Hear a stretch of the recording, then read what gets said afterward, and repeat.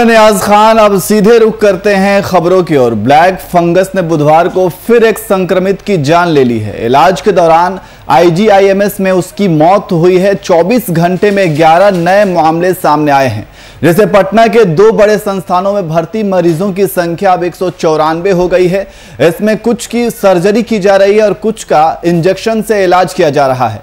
मरीजों की संख्या बढ़ते ही अब काला राज के इंजेक्शन की भी भारी किल्लत हो गई है। अस्पतालों को जो कोटा अलॉट किया गया है, वह भी अब खत्म हो रहा है। इंदिरा गांधी आयुर्विज्ञान संस्थान में बुधवार को 24 घंटे में छह नए संक्रमित भर्ती हुए हैं। पटना एम्स में तीन नए संक्रमितों को इलाज के लिए भर्ती किया गया है। पटना मेडिकल कॉलेज में दो और नालंदा मेडिकल कॉलेज में एक नया मामला सामने आया है। इसके अलावा निजी अस्पतालों की ओपीडी में भी संक्रमितों की संख्या तेज़ी से बढ़ रही है। हालाँकि अभी जाँच में पुष्टि नहीं हो रही है। पटना में कुल भर्ती संक्रमितों की संख्या एक सौ चौरानवे है। निजी अस्पतालों का डेटा अभी विभाग को नहीं मिला है। इस कारण से संक्रमितों की संख्या और संक्रमण से मौत का आंकड़ा भी विभाग के पास देर से पहुँच रहा है।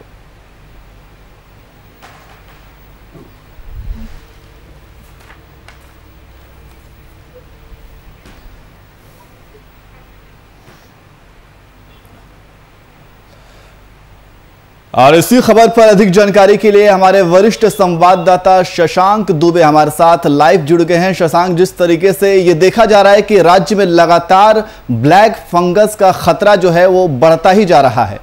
क्या है ताज़ा हालात वहाँ के? देखिए बहुत महत्वपूर्ण बात है कि पूरे बिहार में औसतन कहा जाए तो जो मिकोर माइकोसिस है तो ब्लैक फंगस भी कहते हैं, उसकी संख्या तेज़ी से बढ़ रही है। बीस के करीब रोज नए मामले, औसतन। ये बिहार में देखे जा रहे हैं। पूरे बिहार में आज तक की बात कर दिया जाए, जो रिपोर्टेड केसेस हैं, जिनको आप कह सकते हैं बहुत ज़्यादा ऐसे केसेस हैं, जो प्राइवेट हॉस्पिटल में इलाज कर रहे हैं, उसके डेटा उपलब्ध नहीं तो जो रिपोर्टेड केसेस हैं बिहार में, वो आज तक के 415 है। और 415 में करीब 328 मामले सिर्फ़ पटना, राजधानी पटना के अस्पतालों में निजी अस्पतालों का कुछ डेटा उपलब्ध नहीं पूरे बिहार में जिस तरह की बात है तो पटना में सबसे बड़ा सेंटर जो म्यूकोर माइकोसिस का ट्रीटमेंट कर रहा है का ब्लैक फंगस का, वो है पटना का आईजेएमएस वहाँ 110 बेडेड है इस पर्टिकुलर फंगल इन्फेक्शन के लिए। 110 बेडों में वहाँ पे इलाज किया जा रहा है और वहीं पर सबसे ज़्यादा सर्जरी वगैरह भी की जा रही है। उसके अलावा जिस तरह से मामले बढ़ रहे हैं उस तरह राज्य सरकार ने पीएम को आदेश दिया है कि वो अपने जो तो पचास बेड था पहले उसको सत्तर बेड का फंगस के लिए जो ब्लैक फंगस के लिए कर दिया गया वो सत्तर बेड का कर दिया गया है। एम्स में भी अभी पचास बेड हैं बेड हैं जिनको सत्तर बेड करने पर काम चल रहा है। यानी जिस तरह से मामला पड़, मामले पड़ रहे हैं जो स्वास्थ्य विभाग है वो बेडों की संख्या बढ़ाने पर काम कर रहा है। उसके अलावा पटना के रूबन हॉस्पिटल या अन्य कई प्राइवेट हॉस्पिटल्स में भी इलाज चल रहा है। देखिए नियाज, जो सरकारी आंकड़े हैं, उन सरकारी आंकड़ों के मुताबिक कल तक, कल शाम तक के जो आंकड़े हैं, उसके मुताबिक ब्लैक फंगस से नौ लोगों की बिहार में तक मौत हुई है। कल एक मौत आईजीएमएस में हुई है और दो मौतें कल रूबर हॉस्पिटल में हुई जो पटना के निजी अस्पताल है तो इस तरह नौ मौतें बिहार में हो चुकी हैं और एक्टिव केस 415 है। जैसा आपने कहा कि एक सौ चौरानवे के करीब, लगभग 200 के करीब मरीज़ अभी हॉस्पिटलाइज हैं और बाकी का होम ट्रीटमेंट चल रहा है जिससे इंजेक्शन वगैरह दिया जा रहा है। इन्फोटेरेसिस फ्री इंजेक्शन जो काफ़ी जिसकी किल्लत बताई जा रही है। राज्य सरकार को उसका कोटा वर्तित होता है और बताया जा रहा है कि कुछ कमी हो रही है। तो कहीं ना कहीं पूरा जो ब्लैक फंगस एक तरह से एक महामारी उसको घोषित कर दिया गया है। एपिडेमिक एक्ट के तहत उसको ले लिया गया है। लेकिन वो पूरी तरह से हावी होते जा रहा है रोज करीब बीस के करीब केसेज आ रहा है। और सबसे महत्वपूर्ण बात है कि पूरे बिहार में इन केसेस जितने आ रहे हैं, वो रिपोर्टेड नहीं हो रहे। अगर रिपोर्टेड हो जाए तो उसकी संख्या और बढ़ेगी। तो एक तरह से कहा जाए कि बहुत ज़्यादा चैलेंजिंग था और पटना में एक तरह से काफ़ी ज़्यादा इन तीन अस्पतालों में मरीज़ अब आ रहे होगी। जी, बिल्कुल, लेकिन जिस तरीके से कोरोना का खतरा भी लगातार बढ़ा हुआ है और कोरोना के मद्देनज़र ये देखते हुए ये भी कहा जा सकता है कि अस्पतालों में भी बेड की कमी है। वहीं दूसरी तरफ़ अब ब्लैक फंगस ने भी दस्तक दे दी है और राज्य सरकार ने इसे महामारी भी घोषित कर दिया है। तो क्या जिस तरीके से राज्य सरकार ये आंकड़े दे रही है या फिर ये कह रही है कि कोरोना जो ये ब्लैक फंगस का ये जो खतरा है इससे निपटने के लिए जो भी सरकार की तरफ़ से इंतज़ाम किए गए हैं तो क्या ज़मीनी ज़मीनी स्तर पर भी उस तरीके के इंतज़ाम किए गए हैं या फिर ये सिर्फ़ सरकार द्वारा ये सिर्फ़ मुँह जबानी कहे जा रहे हैं? देखिए नहीं आज सरकार ने तमाम कोशिशें ज़रूर की हैं। पटना के आईडीएमएस में इसका मेन सेंटर बनाया गया है। उसके अलावा एम्स में और पीएम केस में भी इसका ट्रीटमेंट हो रहा है। कई मेडिकल कॉलेजेस जो बिहार में तमाम मेडिकल कॉलेजेस हैं, वहाँ पर भी अब कोशिश की जा रही है कि इसके लिए अलग स्पेसिफिक वार्ड बनाया जाए एकेडमिक एक्ट में इसको शामिल कर लिया गया है। देखिए, एक बीमारी है जो बहुत नई नहीं है, लेकिन अनकॉमन की बीमारी अभी बहुत कॉमन होती जा रही है, खास करके उन मरीजों में जो कोविड पेशेंट हैं और कोई भी सीवियर उनको इलनेस थी जैसे आमतौर पे कहा जाता है डायबिटिक थी या थी, लेकिन बहुत सारे ऐसे मरीज़ मरीज़ भी आ रहे हैं, ऐसे पेशेंट भी आ रहे हैं, जिनके पास कोविड की हिस्ट्री नहीं है। तो कहीं ना कहीं इस पर रिसर्च भी चल रहा, बातें भी चल रही हैं। दूसरी ओर सरकार तमाम कोशिशें ज़रूर कर रही है, लेकिन जिसका इंजेक्शन है। इन्फोटेरेसिस बी जो इंजेक्शन है, वो कहीं ना कहीं किल्लत है क्योंकि केंद्र सरकार ने राज्यों को कोटा वर्धित किया था, और जब केसेस बढ़ रहे हैं तो इनकी मांग ज़्यादा बढ़ेगी, उनकी ज़रूरत ज़्यादा होगी, और वो पूरा नहीं कर पा रहे। तो दूसरा एक एक दवाइयों से इसका इलाज किया जाता है, जब प्राइमरी स्टेज पे इसका डिटेक्शन हो जाता है कि आपको माइकोसिस है, यानी ब्लैक फंगस है लेकिन अगर पहले नहीं डिटेक्ट हो पाता है तो उसकी सर्जरी करनी पड़ती है, जो काफ़ी कॉम्प्लिकेटेड होता है। कई डिपार्टमेंट्स उसमें लगते हैं। उसमें ई e के सर्जन लगते हैं न्यूरो सर्जन लगते हैं, उसके अलावा आई सर्जन लगते हैं और एक मेडिसिन डिपार्टमेंट के लोग होते हैं। तो पूरा कंबाइंड इफर्ट करना होता है मेडिकल टीम को। बिहार में अभी तक पैंतालीस ऑपरेशन किए जा चुके हैं ब्लैक फंगस के मरीजों का। तो ऑपरेशन एक जटिल प्रक्रिया है और जब मरीजों में सीवियर इन्फेक्शन हो चुका होता है तो दूसरा कोई उपाय भी नहीं। इन तमाम चीज़ों में ढांचागत विकास चाहिए इंफ्रास्ट्रक्चर इंफ्रास्ट्रक्चर चाहिए हेल्थ इंफ्रास्ट्रक्चर चाहिए। तो तमाम मेडिकल कॉलेजों में एक आदेश दिए गए सरकार की तरफ़ से कि इस तरह की चीज़ों से निपटने के लिए चाहे वो मेडिसिन के थ्रू हो या फिर सर्जरी के थ्रू हो, तमाम चीज़ों की व्यवस्था सुनिश्चित की जाए, क्योंकि जिस तरह से मरीज़ आ रहे हैं देखिए, आपने सही कहा कि ये रिपोर्टेड मरीज़ है। बीस के करीब रोज मरीज़ आ रहे हैं, ये रिपोर्टेड है। लेकिन जो रिपोर्टेड नहीं है, जो आमतौर पर दूसरी दूसरी जगह पर चले जाते हैं, निजी अस्पतालों में चले जाते हैं, और उनकी चीज़ें काफ़ी बिगड़ भी रही है कई जगहों पर तो उसके लिए भी सरकार तैयारी में है। एक तरह से एक कोरोना के बाद क्योंकि अभी कोरोना का पीरियड चल रहा है, कोरोना के पेशेंट है भी, लेकिन वहाँ पे कुछ हल्का हुआ है, वहाँ पर कुछ मरीजों की संख्या कम हुई है, केसेस कम हो रहे हैं अब।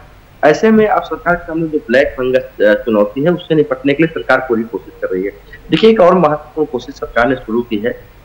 आमतौर पे जब ब्लैक फंगस के मरीज़ जाते हैं तो पहले वो ईएनटी e डॉक्टर के पास जाते हैं, क्योंकि उनको नाक में समस्या होती है या फिर साइनस के थ्रू आईज में समस्या होती है। तो ईएनटी e के पास जाते हैं तो ईएनटी e के डॉक्टर उसको डिटेक्ट कर रहे थे। कहीं ना कोई कोई व्यक्ति सीधे जिसको आँख में इन्फेक्शन होता था, वो आई सर्जन के पास ले जाते थे। लेकिन अब आईजीएमएस ने या कहा जाए एक तरह से एसओपी बना दी गई है कि इस तरह के मरीजों की जाँच जब होगी, जब वो ओपीडी में जाएँगे तो वहाँ पर एक मेडिकल टीम होगी और वो मेडिकल टीम जिसमें ईएनटी भी होंगे, यानी आठ लाख खान के डॉक्टर होंगे, आई आई सर्जन होंगे न्यूरो सर्जन होंगे और उसके अलावा मेडिसिन डिपार्टमेंट में जनरल मेडिसिन डिपार्टमेंट के भी डॉक्टर्स होंगे और वो तमाम लोग मिलकर ये निर्णय करेंगे या देखेंगे कि आखिर के अंदर माइकोसिस है कि नहीं है, ब्लैक फंगस है कि नहीं है या अन्य कोई कारण है? और अगर म्यूकोर माइकोसिस है तो किस स्टेज पर है उसको किस तरह की ट्रीटमेंट की ज़रूरत है? तो ओपीडी में ही तमाम चीज़ों की स्कैनिंग हो जाएगी हो जाती, हो जाएगी। आमतौर पर देखा जा रहा है कि लोगों को कई विभागों को चक्कर लगाने में कई दिन बीत जाते हैं और ऐसे में जो सीवियरिटी है मरीज़ की, वो बढ़ जाती है। तो कहीं ना कहीं सरकार तमाम विषयों पर काम कर रही है, क्योंकि ये एक नया चैलेंज है। और इसके लिए अभी कोशिश की जा रही है। सबसे महत्वपूर्ण है कि सरकारी अस्पतालों में, खास करके जो बड़े हॉस्पिटल हैं और मेडिकल कॉलेजेस बिहार में हैं, उनमें स्वास्थ्य इंफ्रास्ट्रक्चर, हेल्थ इंफ्रास्ट्रक्चर को डेवलप करना होगा, म्यूकोर माइकोसिस के ध्यान में रखते हुए। इन तमाम चीज़ों को किया जा रहा है और इस सरकार ने दावा करने तमाम चीज़ों को किया जा रहा है। हालाँकि अभी जो मुख्य इलाज हो रहा है, वो उन तीन जगहों पर हो रहा है। वो पटना एम्स है पटना का Patna medical college and hospital है और आईजीआईएमएस है, पटना का में अभी तक स्वास्थ्य सुविधाएँ उपलब्ध हैं, लेकिन जिस पैमाने पे बढ़ रहा है लिहाज उसमें पूरे बिहार में बड़े पैमाने पर इसको लागू करना होगा, तभी इसको आप कंट्रोल कर पाएँगे, क्योंकि मरीजों की संख्या बढ़ रही है। बिल्कुल शशांक, जिस तरीके से ब्लैक फंगस का खतरा लगातार बढ़ता जा रहा है, इसको लेकर के जो भी हेल्थ स्ट्रक्चर है, उसमें सुधार की ज़रूरत है, नहीं तो ये आगे चल करके बहुत ही भयावह रूप ले सकती है। बहुत बहुत शुक्रिया तमाम जानकारी के लिए।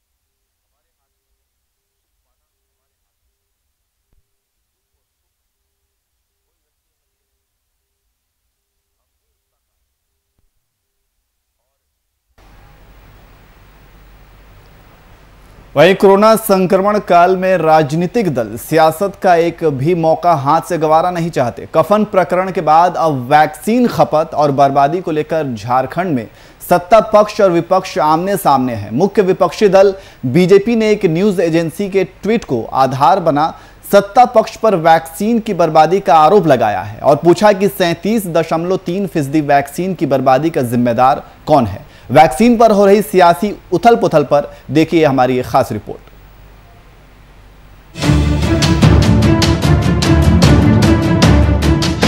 वैक्सीन की बर्बादी का जिम्मेदार कौन? वैक्सीन की बर्बादी में अव्वल झारखंड। वैक्सीन को लेकर विपक्ष के निशाने पर सरकार। सरकार ने विपक्ष पर किया पलटवार। झारखंड में क्यों हो रही है वैक्सीन बेकार? कोरोना के खिलाफ लड़ाई में जहाँ कई राज्य केंद्र से वैक्सीन की सप्लाई बढ़ाने की मांग कर रहे हैं तो वहीं दूसरी तरफ़ कई ऐसे राज्य भी हैं जिनको सप्लाई हुई कुल वैक्सीन का एक तिहाई से ज़्यादा हिस्सा वे बर्बाद कर चुके हैं। वैक्सीन की बर्बादी करने वाले राज्यों में झारखंड देश में पहले पायदान पर पहुँच गया है। इसको लेकर विपक्ष सरकार पर हमलावर है। केंद्रीय स्वास्थ्य मंत्रालय के जारी किए गए आंकड़ों के मुताबिक झारखंड को सप्लाई कुल वैक्सीन का सैतीस फ़ीसदी हिस्सा बर्बाद हुआ है। वैक्सीन की बर्बादी को लेकर सरकार पर भी विपक्ष हमलावर है। स्वास्थ्य मंत्रालय के आंकड़े के बाद बीजेपी ने झारखंड सरकार पर हमला बोलते हुए कहा है कि सरकार जीवन रक्षक वैक्सीन को बर्बाद होने से रोकने में विफल रही है और दूसरी ओर वैक्सीन के नाम पर घड़ियाली आँसू बहाने का काम करती आई है। केंद्र सरकार के द्वारा भेजे गए जीवन रक्षक वैक्सीन की बर्बादी में देश में अव्वल स्थान झारखंड है। और 100 में सैंतीस वैक्सीन को बर्बाद करने का काम झारखंड की सरकार और उसकी मैकेनिज्म ने लिया है। विपक्ष के हमले के बाद सरकार की ओर से भी पलटवार किया गया है, जिसमें झारखंड सरकार के मंत्री बादल पत्र लेख ने बीजेपी पर निशाना साधते हुए कहा है कि वैक्सीन को लेकर दिए गए बयान निराधार हैं और तथ्य से परे हैं। झारखंड में सिर्फ़ चार दशमलव छह तीन फ़ीसदी ही वैक्सीन बर्बाद हुई है। साथ ही सीएम सोरेन ने भी ट्वीट कर वैक्सीन की बर्बादी के आंकड़ों को बताते हुए विपक्ष के सारे बयानों को गलत बताया है। इस आंकड़े की सत्यता क्या है, इस पर तो हम बाद में बात करेंगे। पहले हम माननीय से ये कहना चाहेंगे, यदि आप कमियों को गिना सकते हैं। तो जो खूबियाँ हैं, उसका श्रेय भी देने का साहस दिखाएँ। विपक्ष की भी एक भूमिका होती है, खास करके वैसे समय में, जब इस देश, समाज, राज्य के संकट का समय हो, कोरोना जैसे महामारी का दौर हो, वैसे में उनसे सकारात्मक भूमिका निभाने की उम्मीद की जाती है। आप बताने का हमें कष्ट करेंगे माननीय। कि 20 लाख करोड़ के घोषणा में से कितने शून्य झारखंड सरकार को नसीब हुए? बहरहाल इस सियासी खेल में सबसे ज़्यादा कोई परेशान है तो वो है झारखंड की आम जनता, जो कि वैक्सीन लगवाने के लिए रोज चक्कर काट रही है। फिर भी राज्य में वैक्सीन की बर्बादी क्यों हो रही है और इसका जिम्मेदार कौन है? जवाब देना पड़ेगा।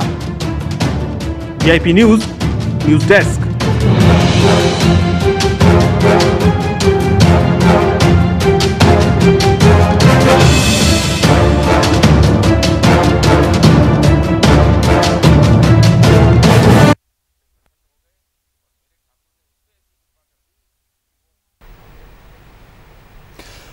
वहीं चक्रवाती तूफ़ान यास बुधवार सुबह ओडिशा के बालासोर के नज़दीक बहानघटा तट से टकराया इस दौरान हवा की रफ्तार 130 से 40 किलोमीटर प्रति घंटे रही। दोपहर करीब डेढ़ बजे तक तूफ़ान कमज़ोर पड़कर बेहद खतरनाक से खतरनाक श्रेणी में बदल गया और 10 किलोमीटर प्रति घंटे की गति से बढ़ने लगा। इसके बाद तूफ़ान का रात एक बजे पूर्वी सिंहभूम के बहरा गोड़ा की जगह पश्चिमी सिंहभूम के टोंटो से झारखंड में प्रवेश हुआ। उस समय गति 50 से 60 किलोमीटर प्रति घंटे थी। इधर यास के असर से रांची समेत झारखंड के 21 जिलों में 24 घंटे से बारिश होती रही। जमशेदपुर, धनबाद में तेज हवा के कारण कई पेड़ बिजली पोल गिर गए, जिससे बिजली आपूर्ति बाधित रही। 27 और 28 मई को भी पूरे राज्य में बारिश के आसार हैं।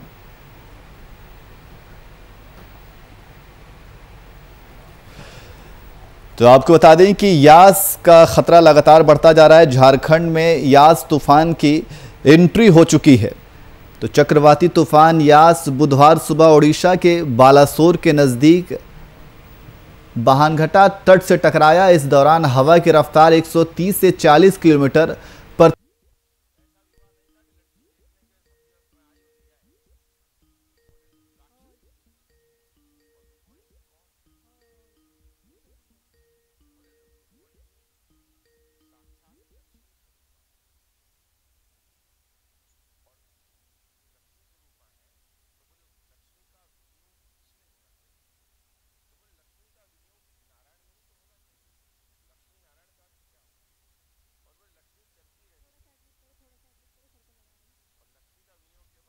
में तूफ़ान यास की एंट्री हो चुकी है। आपको बता दें कि इसको लेकर के आठ कंट्रोल रूम से निगरानी की जा रही है। तो लगातार जिस तरीके से तूफ़ान यास का ख़तरा बढ़ता जा रहा है और जिस रफ्तार के साथ यास तूफ़ान आगे बढ़ता हुआ जा रहा है तो अब झारखंड में भी एंट्री हो चुकी है। दोपहर करीब डेढ़ बजे तक तूफ़ान कमज़ोर पड़कर बेहद ख़तरनाक से ख़तरनाक श्रेणी में बदल गया है और 10 किलोमीटर प्रति घंटे की गति से बढ़ने लगा है। इसके बाद तूफ़ान का रात एक बजे पूर्वी सिंहभूम के बहरागोड़ा की जगह पश्चिमी सिंहभूम के टोंटों से झारखंड में प्रवेश हुआ है। उस समय गति 50 से 60 किलोमीटर प्रति घंटे थी। इधर यास के असर से रांची समेत झारखंड के 21 जिलों में 24 घंटे से बारिश होती रही है। जमशेदपुर, धनबाद में तेज हवा के कारण कई पेड़, बिजली पोल गिर गए, जिससे बिजली आपूर्ति बाधित रही और 27 और 28 को भी पूरे राज्य में बारिश के आसार नज़र आ रहे हैं।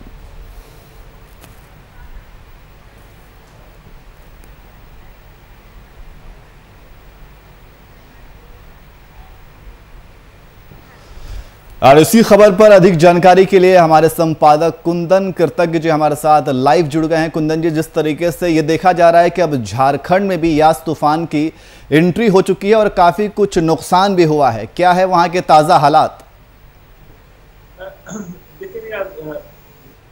दोपहर में लगभग साढ़े ग्यारह बजे जब इस तूफ़ान ने लैंडेड किया था उड़ीसा में, और उसके बाद उड़ीसा के आसपास के जितने राज्य हैं, पश्चिम बंगाल की बात कर रहे हैं, या झारखंड की बात कर रहे हैं, बिहार, उत्तर प्रदेश, इन तमाम राज्यों में इसके प्रभाव की बात की जा रही थी। परसों देर रात से लगातार बारिश जारी है झारखंड में, और झारखंड के तमाम ज़िले बारिश की चपेट में है। साथ ही आज देर रात, बीती रात, झारखंड में प्रदेश की सूचना है और उम्मीद यह की जा रही है कि धीरे धीरे यह झारखंड के तमाम राज्यों में जो तूफानी हवाएँ हैं, इन हवाओं का प्रकोप बढ़ सकता है। जो अभी तक के प्रभावित जिलों की सूचना आ रही है, जिसमें पूर्वी सिंहभूम, पश्चिमी सिंहभूम, सरायकेला, खरसावा सिंदेगा खूंटी, चाईबासा, ये तमाम ज़िले हैं जो अभी प्रभाव क्षेत्र में आए हैं। और जैसे जैसे यह बाकी झारखंड के दूसरे हिस्सों में पहुंचेगी, वहाँ पर इस तूफानी हवा की गति के कम होने की आशंका जताई जा रही है। और मौसम केंद्र ने जिस तरीके से सूचना दी है कि इसका प्रभाव आज दोपहर तक रहेगा झारखंड में और बरसात, बारिश की संभावना कल तक बताई जा रही है और उम्मीद की जा रही है कि झारखंड के तमाम इलाकों में हल्की से भारी बारिश मध्यम दर्जे की बारिश से लेकर भारी बारिश तक की संभावना झारखंड के तमाम जिलों में। जी, लेकिन कुंदन जी झारखंड के वो कौन से इलाके हैं, वो कौन से हिस्से हैं जो इस तूफ़ान से ज़्यादा प्रभावित हुए हैं और इसको लेकर के आपदा प्रबंधन विभाग की तरफ़ से किस तरीके के इंतज़ाम किए गए हैं? बता दूँ कि जिन जिलों में अभी तक प्रभाव देखा गया है, हालाँकि परसों देर रात से बरसात, बारिश, झारखंड के लगभग तमाम जिलों में हो रही है।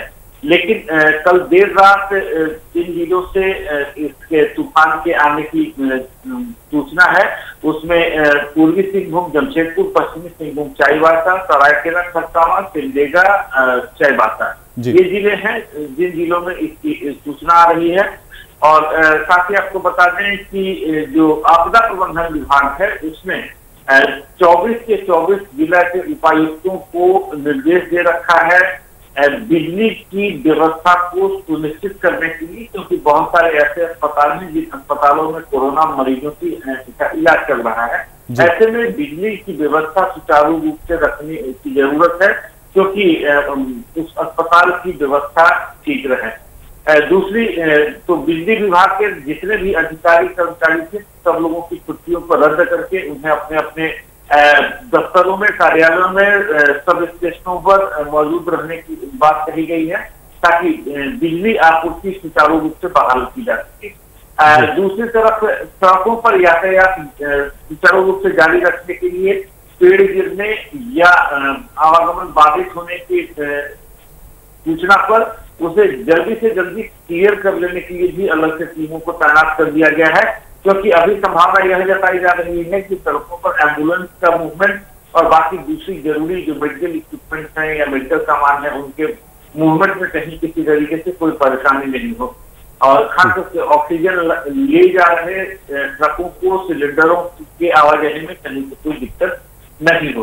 तो दो चीज़ों की व्यवस्था सुचारू रूप से करने का इंतज़ाम कर दिया गया है। सबसे पहले सड़क यातायात और दूसरी बात कर लें तो बिजली आपूर्ति। जी बहुत बहुत शुक्रिया तमाम जानकारी के लिए।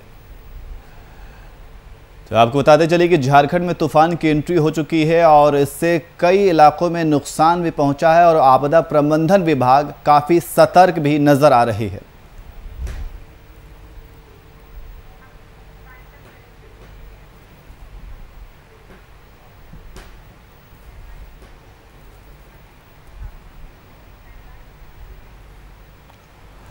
अब चलते चलते एक नज़र सुर्खियों पे डालते हैं।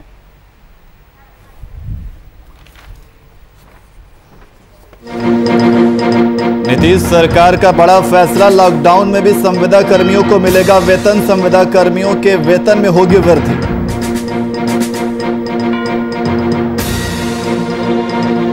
पटना नगर निगम ने दी बड़ी राहत। लॉकडाउन में बंद दुकानों को नहीं देना होगा। सफ़ाई टैक्स निगम कर्मियों को कोरोना काल में बोनस की सौगात।